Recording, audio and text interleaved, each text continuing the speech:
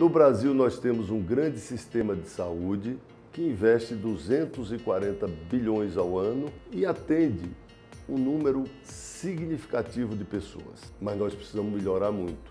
Ninguém está satisfeito com o atendimento de saúde no Brasil. Eu, como médico e médico do SUS, posso fazer um depoimento seguro.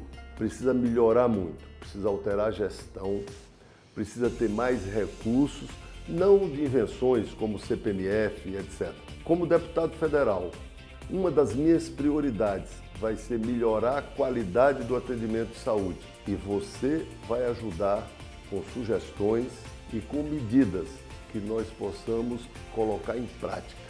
Eu quero ser a sua voz em Brasília para melhorarmos a saúde no Brasil.